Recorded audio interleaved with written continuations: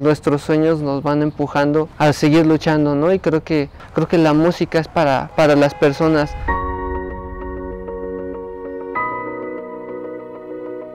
Desde el principio dije que me iba a dedicar a la música y eso es algo que nunca me he echado para atrás.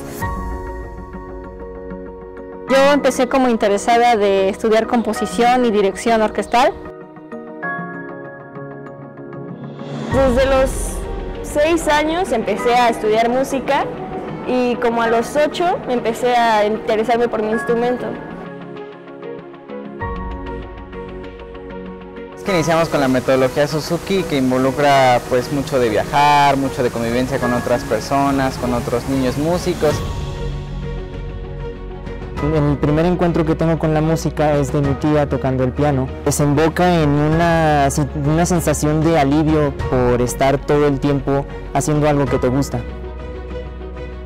Ha habido complicaciones bastantes porque uno cuando se mete al mundo musical hay mucha competencia.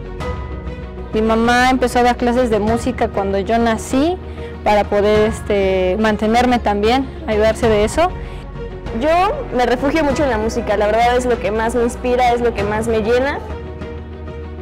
No salía tanto trabajo y tuve que hacer un mariachi. Entonces, este, pues esta cuestión de encontrar lugares necesita haber más, este, más orquestas, más espacios y pues gracias igual a estos como este, proyectos y programas este, de apoyo es que hay pues más trabajos y más lugares para tocar.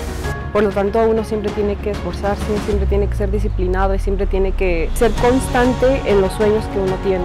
Hay como una magia que de repente pasa, ¿no? Después de la camerata me gustaría seguir tocando. Yo quiero dedicarme a hacer música, que es un acercamiento más a la música.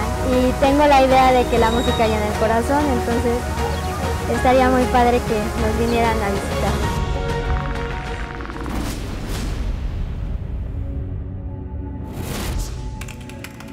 l'erba, grande come un